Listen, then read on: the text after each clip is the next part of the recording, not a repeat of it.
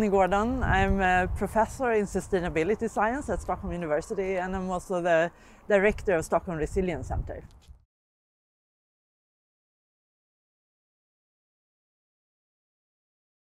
There's so many different uh, aspects to this, of course.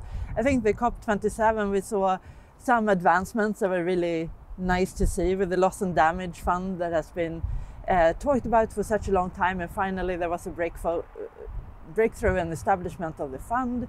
Um, I think the sort of 1.5 target was a bit uh, challenged, uh, but still uh, kept the momentum and the realization that the world needs to be on track to meet 1.5 target uh, if we are to to have a sort of a successful uh, development going forward.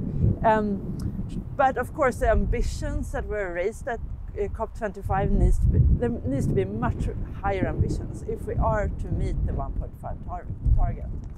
So some challenges moving forward and some optimism on some of the solutions that we could see.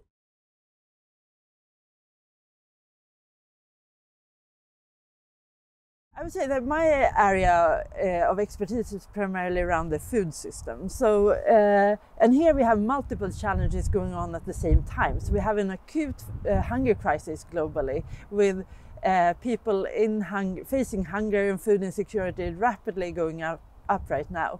At the same time, we also see obesity and public health related issues uh, growing globally related to the food system and the food system having major impacts on on our biosphere, uh, driving climate emissions, biodiversity loss and so on.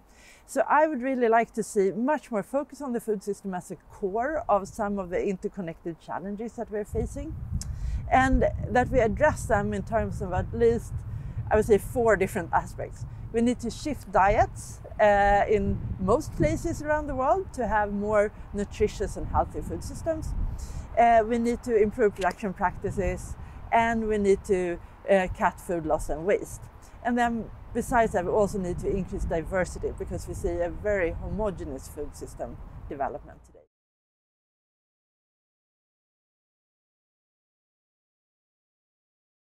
everyone. Just kidding.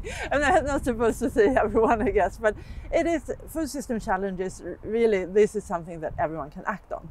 But in particular, I mean, governments have a big role to play. They they need to prioritize food system shifts. Uh, they need to find ways to for uh, regulations also that helps us to shift diets and production practices. They also need to stimulate um, uh, innovations and provide funding to for uh, new type of um, uh, food system changes to to be able to happen. Um, so governments are really important. Uh, the industry is really important. This is where we also see lots of exciting uh, changes happening and that companies are uh, taking up some of the innovation challenges uh, that we need to see happen. So, so industry has a big role to play. And then financial uh, institutions uh, to shift funding so that they can stimulate this transition that is needed. Um, but as I said also, every one of us can also act as individuals in this system, but it's not our own responsibilities to do so.